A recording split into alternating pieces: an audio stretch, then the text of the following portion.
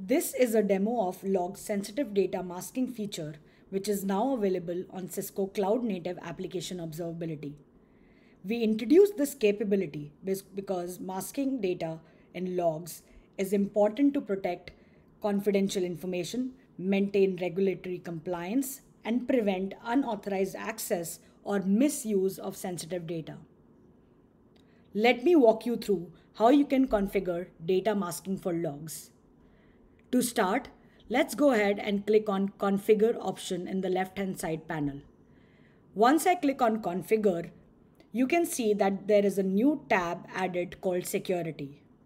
Under Security, let's go ahead and click on Data Security. Once I click on Data Security, you will land on this page, which shows you a Masking Rules tab and next to it, the Masking Expressions tab. Let's go ahead and look at the Masking Expressions tab first. Under the Masking Expressions tab, you can see a list of all the masking expressions that have already been created. To identify which masking expressions have been provided out of the box or created by the user, you can refer to the type column, where default refers to anything that has been provided out of the box and custom refers to anything that has been created by the user. Let's go ahead and take a look at the custom SSN masking expression. You can see that the first field here is the expression name, which is custom SSN. The second field is for the regex for matching data.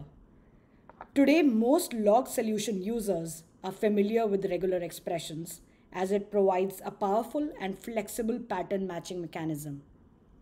You can specify the regular expression in the second field to match any patterns within logs. Here, we have provided it to match social security number. The third field is data sensitivity, which refers to the sensitivity of the data, which can vary with organizations. It can range from low, medium, high to critical. This field will also be used in the Security Insights FSO platform module to provide data security insights prioritized with business risk observability, which will be available soon. Let's go back and look at how these masking expressions can be used. Jumping on to the masking rules tab, you can see a list of masking rules that have already been created. To see that the, the rules that have already been enabled, you can look at the monitoring status column where we can see the mass social security number is enabled while the mass credit card rule is currently disabled. Let's go ahead and look at the mass social security number rule. You can see that the first field here is the masking rule name, which is specified as mass social security number. The second field is the rule scope, which refers to the set of logs where the masking expressions should be applied. In this scenario, you need to provide this value in the log format field within your log collector YAML configuration file. For this example, I have used K8's Add e-commerce AppD Cloud demo for logs, which is specified in the YAML configuration file as the log format. The third field is the masking expressions. This is where you can go ahead and select the masking expressions that needs to be applied to this set of logs. In this scenario, we have selected the custom SSN, which we had created in the masking expressions list. You can also go ahead and create a new masking expression right here, which has the same fields as we saw earlier when going through the masking expressions tab.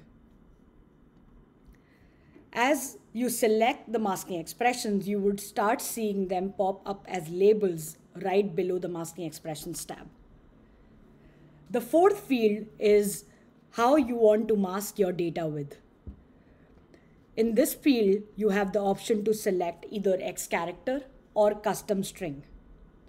We will go ahead and select the X character in this scenario, which means that any data that is being masked will be replaced with the X character. Let's go ahead and save this rule. Once a rule has been saved, it is, it is disabled by default. In this scenario, we had edited a rule which was already enabled, and that's the reason the monitoring status for this rule is already enabled. Once a masking rule has been enabled, any data that is being ingested from the scope that has been specified in the masking rule will be scanned for that particular pattern and that data will be masked. Let's go ahead and look at how the masked data will look like. Looking at the logs explorer.